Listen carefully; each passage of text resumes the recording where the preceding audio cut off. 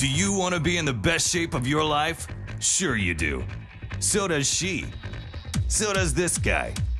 That's why we created Reality, the only workout program that fits your lifestyle. Let's get real. Reality is running, it's sit ups, it's laying down. And you can do it anywhere. Some weeks, in reality, you run three times. Some weeks, only once. Some weeks, not at all. In reality, it's up to you how much you work out. Don't feel like it today? That's fine. All you need is a legitimate excuse. Well, I'm just getting over a cold. So don't overdo it. Good call. Uh, my sister's visiting this weekend. Totally understandable. This is my last pair of clean socks.